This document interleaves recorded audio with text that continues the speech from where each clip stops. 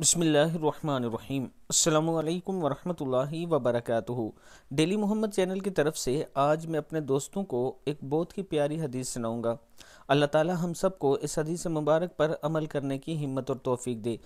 تو شروع کرتے ہیں بسم اللہ الرحمن الرحیم رسول اللہ صلی اللہ علیہ وآلہ وسلم نے ارشاد فرمایا میت پر رونے کے سبب میت کو قبر میں عذاب دیا جاتا ہے بخاری شریف کی حدیث ہے کہ میت پر اگر رو گے تو میت کو قبر میں عذاب دیا جائے گا اللہ تعالی ہم سب کو اس فعل سے دور رکھے السلام علیکم ورحمۃ اللہ وبرکاتہ